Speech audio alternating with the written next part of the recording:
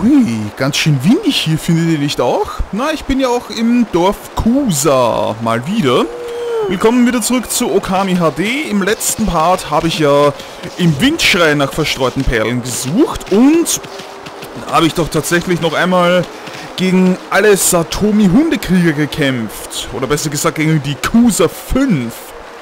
Und ja, das war ein relativ äh, heftiger Kampf, muss ich sogar zugeben, aber ich habe ihn gewonnen und wurde mit einer weiteren verstreuten Perle belohnt und jetzt geht die Suche weiter. Also, perlenmäßig sieht es ja schon gar nicht mal so schlecht aus. Die nächste verstreute Perle würde hier sein die Nummer 37 und das ist bei der Zugbrücke. Da muss ich also das nächstes hin. Gut, ich glaube, da müsste ich auch wieder mit einem Spiegel hinkommen. Gucken wir mal. So, Nebelbab-Technik.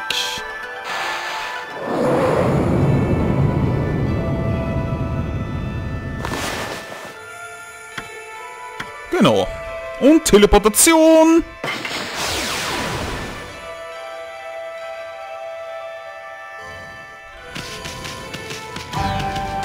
Okay.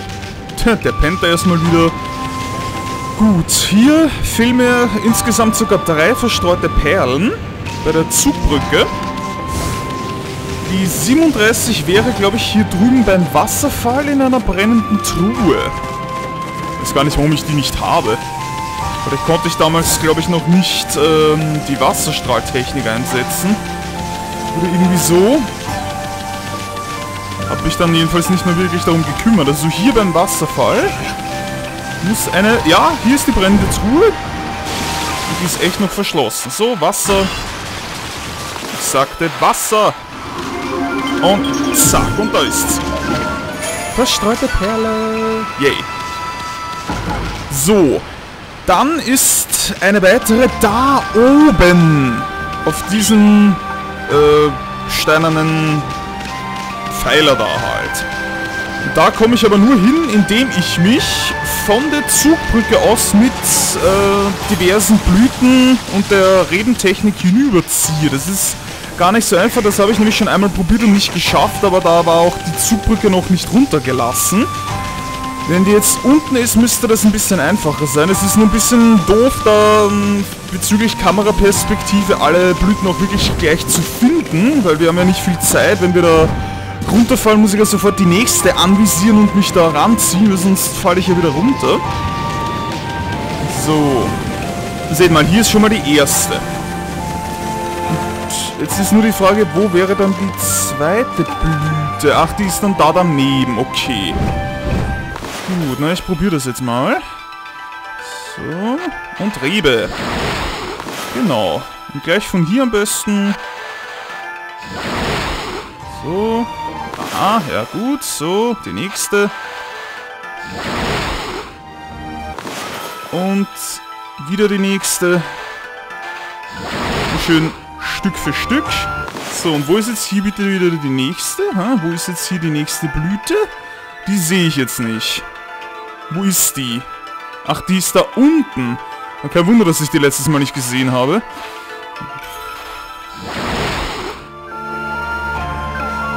Moment. Hier ist die nächste. So, zack, zack. Und... Zack und... Zack. So, und hier habe ich gleich die wieder nächste gesehen. So, ich kann hier gleich ein bisschen Zeit sparen. So, und... Aha. Wieder eine gefunden. Ich meine, jetzt ist es ja auch etwas einfacher, weil ich ja das Goldtintenfass habe. Da füllt sich ja meine Tinte auch wesentlich schneller wieder auf. Ansonsten kann man auch einfach einen Tintenstein verwenden, dann hat man ja kurz unbegrenzt Tinte. So, ah ja. Oh, diesmal scheint es ja gut zu klappen. Ja. Und die nächste Blüte, die muss ich erstmal öffnen, so. Achtung, zack, zack. Und wieder eine. Schwupps. So. Und hier ist die nächste. Und schwuppdiwupp. So, und da ist die letzte Blüte.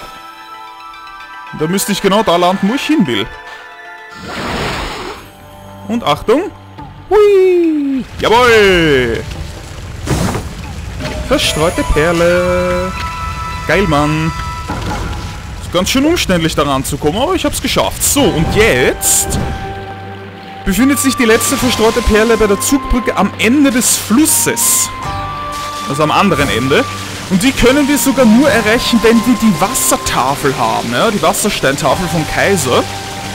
Die bekommen wir ja, nachdem wir Neunschwanz besiegt haben, für 100 Dämonenzähne, weil mit der, ähm, mit der Seerosenblatttechnik würden wir hier gar nicht rüberkommen, weil die Strömung zu stark ist. Da würden die Blätter sofort abgetrieben werden und ich muss ja flussaufwärts, deswegen würde das äh, nicht funktionieren. Da brauchen wir unbedingt die Wassersteintafel für diese verstreute Perle. Das ist jetzt ganz am anderen Ende des Flusses. Aber da können wir einfach hinrennen. Wir können jetzt über dem Wasser laufen. Also auf dem Wasser laufen. So, Amy, beeil dich. Schneller. Ich frage mich ernsthaft, wie man darauf kommen soll, dass ganz hier hinten so eine Mini-Insel ist, wo eine verstreute Perle vergraben ist. Ja, genau hier. Ganz hier am anderen Ende ist das. Ah, hier gibt es sogar noch einen Baum zum Blühen. Oh, plus 11. Sehr schön. Bisschen was zu essen. So. Dann sogar noch ein Kleeblatt, wobei ich jetzt eh keine Glückspunkte mehr brauche. Ich habe schon alles aufgelevelt. Das bringt doch nur 5. So, und hier ist jetzt die Truhe mit der verstreuten Perle vergraben. Und knacks. Und da ist sie. Na bitte. Und jetzt... Aha, die Nummer 41. Aha, die ist bei der Ryoshima-Küste, genau wie die 44 auch. Okay. Ja gut, dann geht es als nächstes zur Ryoshima-Küste. Alles kein Problem. Jetzt muss ich natürlich erstmal wieder aus dem Fluss raus. Wirklich, wenn man das nicht weiß, wie soll man darauf kommen, dass da hinten eine verstreute Perle versteckt ist? Das ist schon ein bisschen raffiniert gemacht. So. Komm, ich will wieder Hintergrundmusik hören. Das ist sonst etwas langweilig. Ja, schon besser.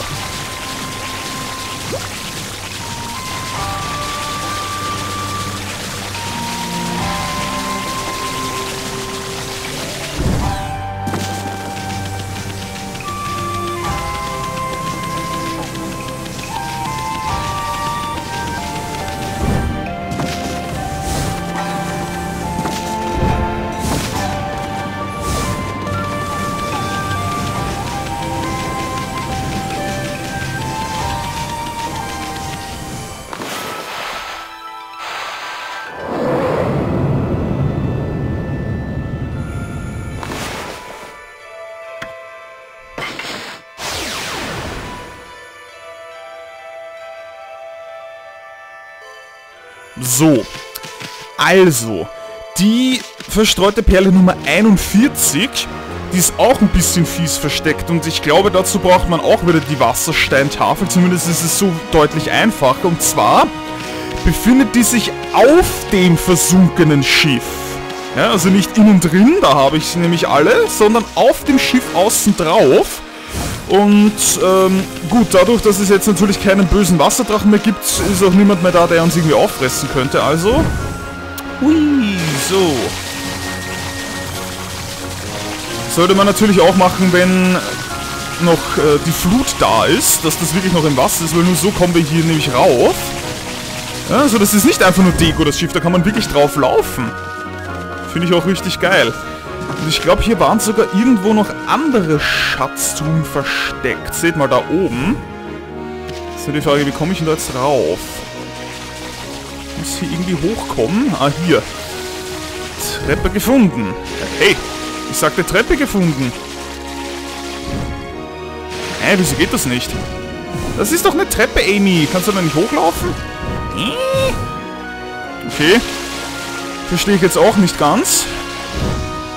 Wieso geht das nicht? Was soll dieser Scheiß, Mann? Ah, vielleicht komme ich... Aber hier komme ich rauf, okay. So, Moment. Ist jetzt hier hinten auch noch was? Ähm... Nee, sieht nicht so aus. Nö, ich glaube, dann war das nur hier oben. Okay, also wir kommen nur von hier hinten. Dafür stehe ich auch noch. Warum machen die dann hier so eine olle Treppe hin, wenn Amy die gar nicht nehmen kann? So, zwei Schatztruhen. In einer ist die verstreute Perle drin. So, hier hätten wir die verstreute Perle. Yeah. So, und hier haben wir noch was. Oh, ein goldener Pfirsich. Mystische Frucht füllt den Magen komplett. Ey, von denen habe ich bisher fast nie einen gebraucht. Wenn dann nur, wenn ich einen ganz neuen Magen gemacht habe, dass ich den gleich voll gemacht habe. Okay, ja? da oben, wie gesagt, verstreute Perle Nummer 41.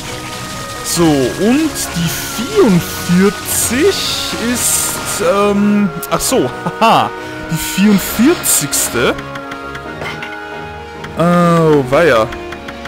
Die 44. ist jetzt leider eine, die extrem viel Zeit in Anspruch nimmt, weil das ist jetzt eine, die man bekommt, wenn man, nachdem man diese Banditenspinne besiegt hat, noch einmal in diese Höhle reingeht. Also in dem Fall war das dort ganz hinten. Weil wenn man da, wie gesagt, noch einmal reingeht, dann bekommt man es dort mit einer Herausforderung zu tun. Da muss man nämlich, äh, ich glaube, wie war das, zehn Teufelstore hintereinander schaffen, also quasi so Gegnerwellen abwehren und alle Gegner nacheinander besiegen und darf die Höhle auch dazwischen nicht verlassen. Wenn man das halt geschafft hat, bekommt man eine verstreute Perle als Belohnung. Aber ich denke, das werde ich jetzt mal machen. Hier war sowieso die erste Banditenspinne, hier müsste es, glaube ich, noch nicht so schwer sein. So, das war jetzt hier hinten. Hier war die Banditenspinne drin.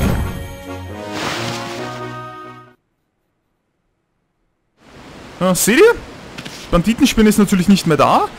Aber hier ist jetzt ein Teufelstor. Und wie gesagt, das wird auch nicht äh, verschwinden, wenn wir die erste Gegnerwelle abgewehrt haben, sondern das kommt dann immer wieder neu, so lange bis wir, glaube ich, 10 Gegnerwellen hm, hinter uns gebracht haben und dann erst bekommen wir die verstreute Perle.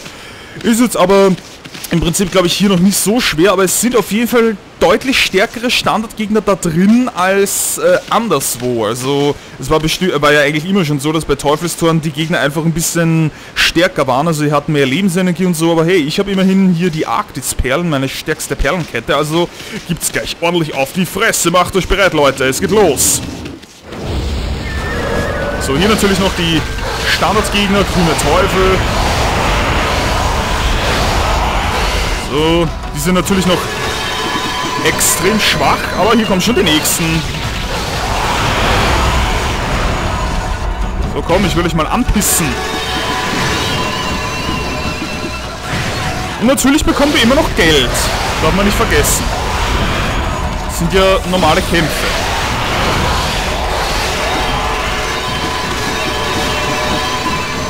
So, und die nächsten. Schlitz.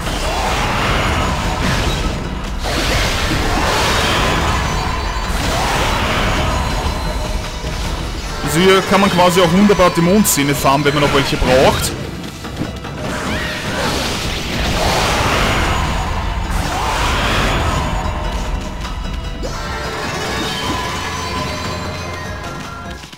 So. Das war jetzt nur eine Gegnerwelle, Leute. Seht ihr?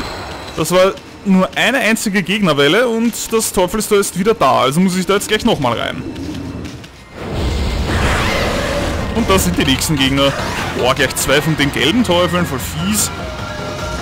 Hey, nicht vergraben, verdammt. Ich habe euch doch angemalt. Was soll denn das? Hm. Ich sagte... Ah, es holt. Und... Blitz. Okay, dann eben nicht.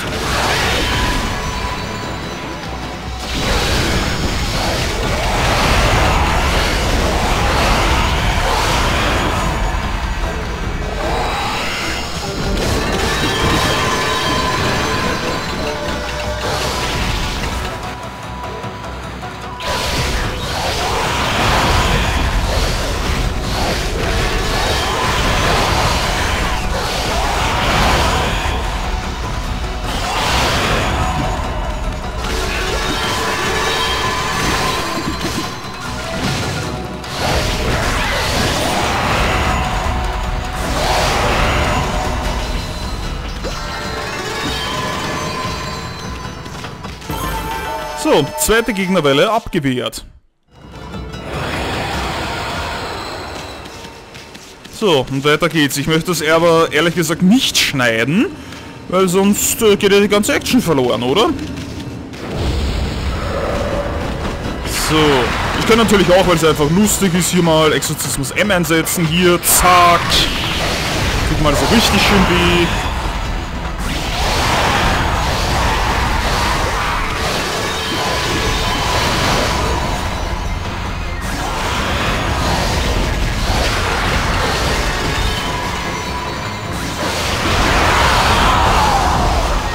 Und Schlitz!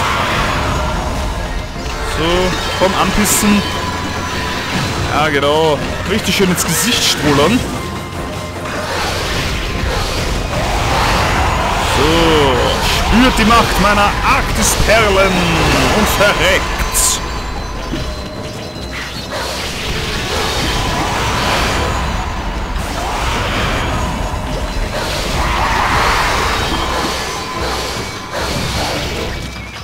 Loslassen! Stinkefische, ist das eklig.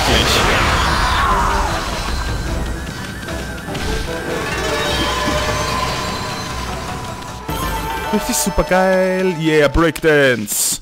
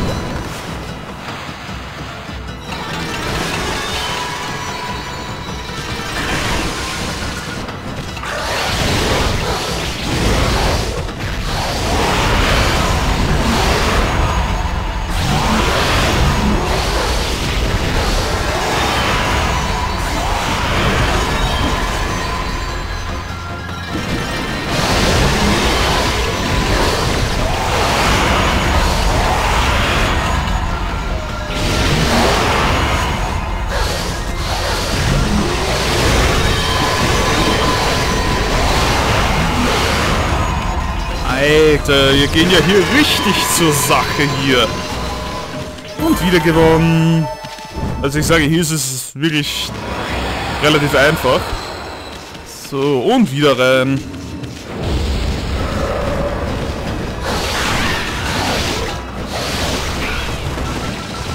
Los, komm, pinkeln. Und Wind, bitte.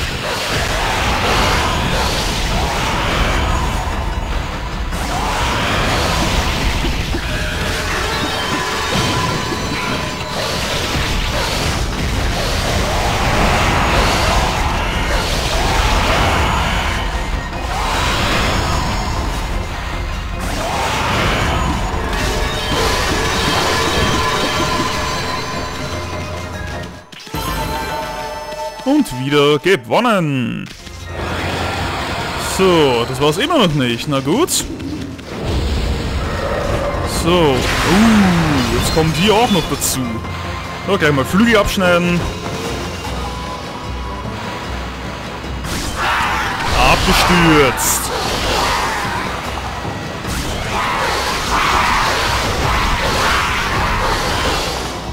Und Schlitz.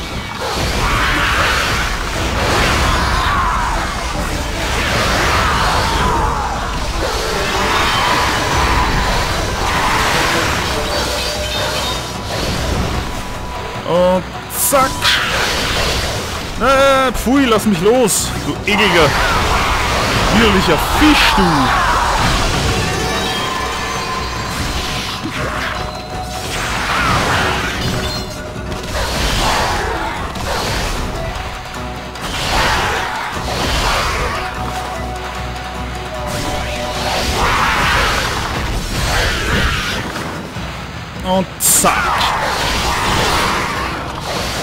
Hör mal auf mit dem Quatsch.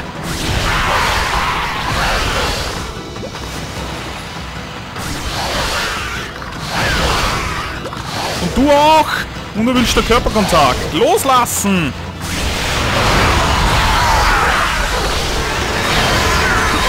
So, das kommt davon. Ach, das war's schon. So, ich glaube, jetzt müssen dann bald auch mal schwarze Teufel auch noch dazukommen. Oh, oder diese Viecher hier. So, Wind bitte.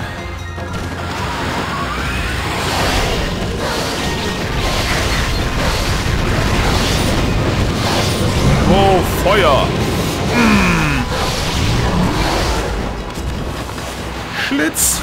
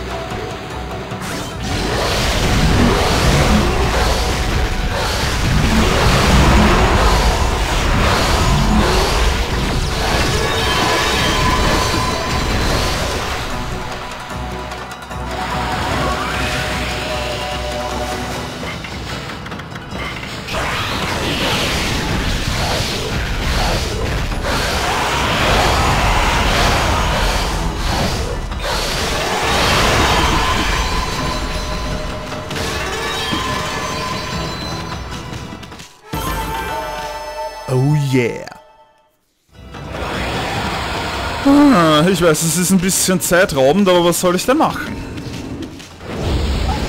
Ah, da sind sie ja endlich, die schwarzen Teufel. So, Exorzismus L in your face. Bam, Alter. Schlitz. So, von denen bekommen wir wenigstens immer drei Dämonenszene von diesen schwarzen Teufeln.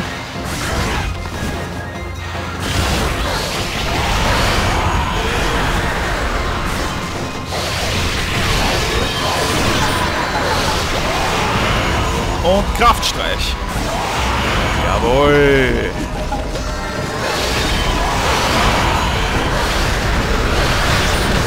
He's firing his laser.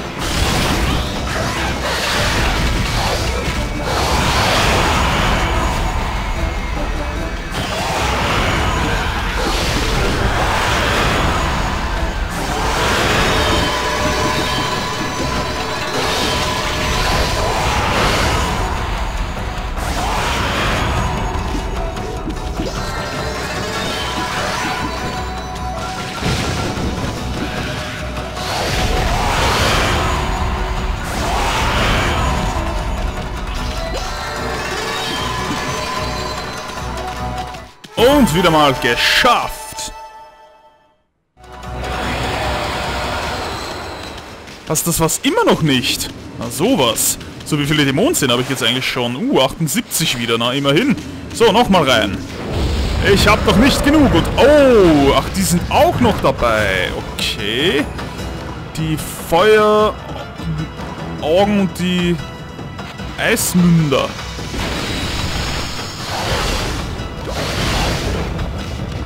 So, Moment mal. Feuer auf Eis, wenn dann.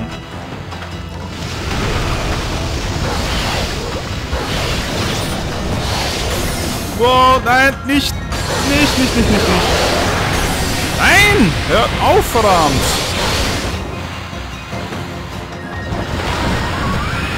Zeitlupe!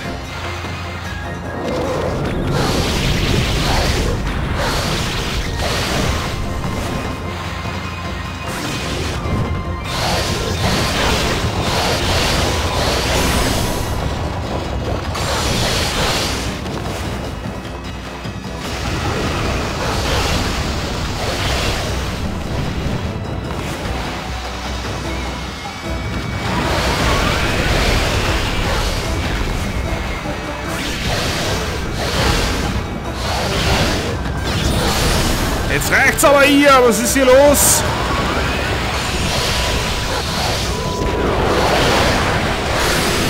Mann, ich sollte mich nicht immer einführen, die scheiß Missgeburten, ihr Verdammten. Hört auf! Und Zeitlupe.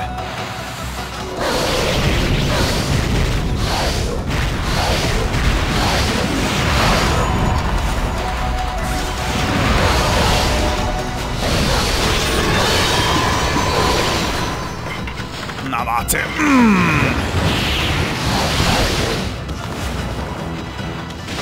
Jetzt kommen hier ganz viele von denen, ne? Schlitz. Okay, Moment. Erstmal mit äh, Vergeltung. So. Lenkt zeitweise Angriffe ab.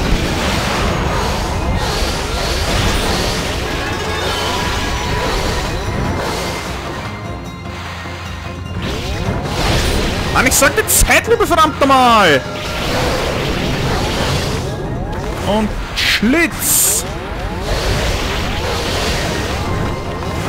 Und Wind bitte!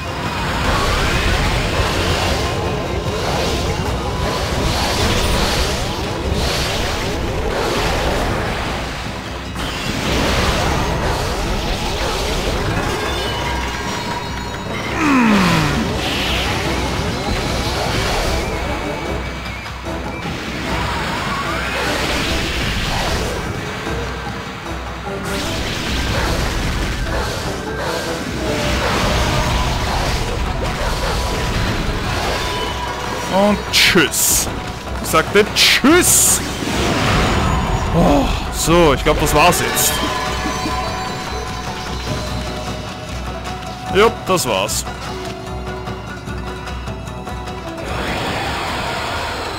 Leider immer noch nicht ganz. Das gibt's doch nicht. Okay, einmal noch hoffentlich. Ich habe jetzt nicht mitgezählt. Oh Gott, ich glaube, jetzt kommen hier nochmal alle auf einmal. So, komm. Und Stahlfaust-Sake.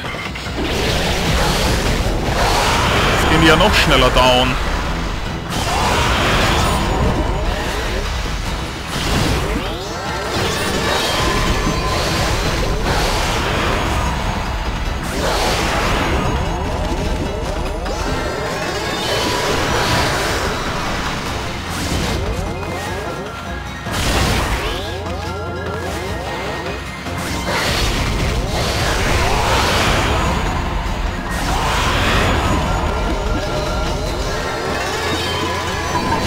Wow, noch welche. Holy shit!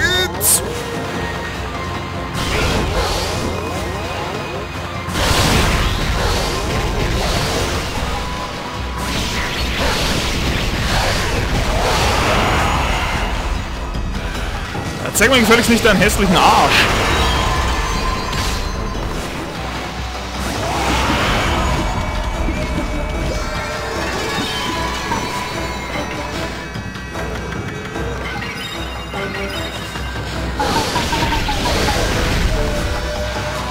Das müsste jetzt die letzte Welle sein, weil hier sind es nur mehr schwarze Teufel.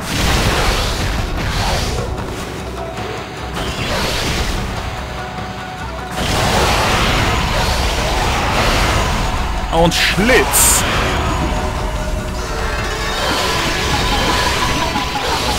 Ja, da kommen immer mehr.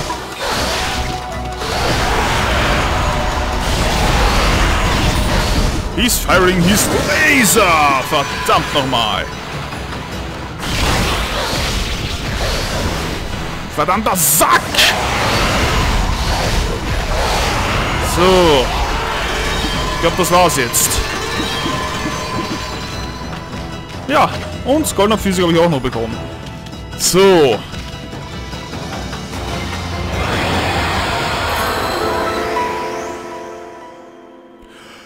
Puh, Leute, endlich geschafft. Ich weiß, es hat verdammt lang gedauert, aber hier ist sie nun. Die verstreute Perle. Ja, und das muss ich jetzt, wie gesagt, noch einmal dann an der nördlichen Ryoshima-Küste machen, weil da war auch eine Banditenspinne und in Kamui, da habe ich die Banditenspinne noch nicht mal gefunden, aber wenn ich die besiegt habe, muss ich das dort auch noch machen. In Kamui wird es natürlich am allerheftigsten. Aber wenigstens habe ich das hier mal geschafft.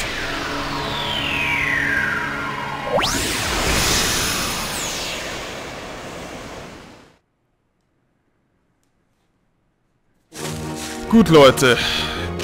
Der Part ist eigentlich von der Länge her genau richtig, dass ich ihn jetzt auch beenden möchte. Und ja, wie gesagt, zwei weitere von diesen Teufelstor-Challenges erwarten mich halt dann noch. Und die muss ich auch unbedingt machen, wenn ich die verstreuten Perlen da haben möchte. So. Aber jetzt äh, wird erstmal gespeichert und dann werde ich diesen Part auch beenden. Also ich hoffe, es war jetzt nicht zu langweilig für euch, aber es wurde immerhin ziemlich viel gekämpft. War doch relativ actionreich. Also dann. So, überschreiben, ja.